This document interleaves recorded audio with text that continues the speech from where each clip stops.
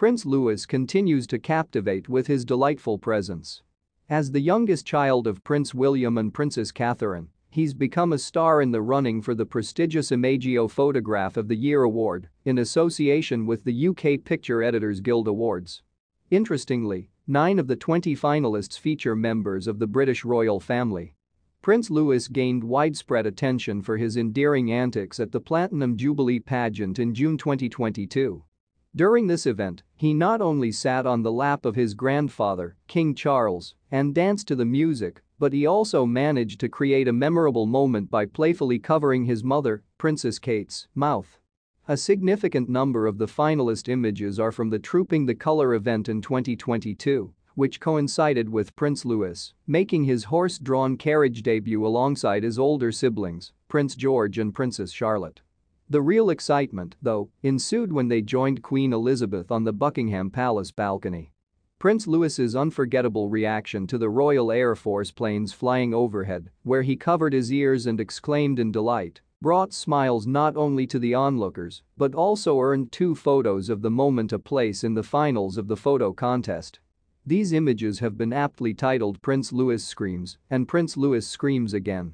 Photographer Samir Hussein, the creative mind behind one of the finalist images, expressed his delight on Twitter, stating, Really happy to have my photo of the Queen and Prince Louis nominated for Photo of the Year at the Picture Editor Awards. A real honor to be recognized amongst such stunning images. It's somewhat regrettable that Meghan and Harry's children haven't had the opportunity to experience these precious royal moments. Their updated photos have remained unseen, and they haven't been captured playing outdoors like typical children, which is a rather poignant observation. In brighter news, the Wales family has been enjoying quality time at Balmoral. According to Princess Eugenie, who has spent many summers at the estate, their days are filled with walks, picnics, and the delightful company of numerous dogs. Balmoral, with its rich history dating back to Queen Victoria's time, provides a serene backdrop for the royals, offering opportunities for barbecues amid the stunning 52,000-acre Scottish estate.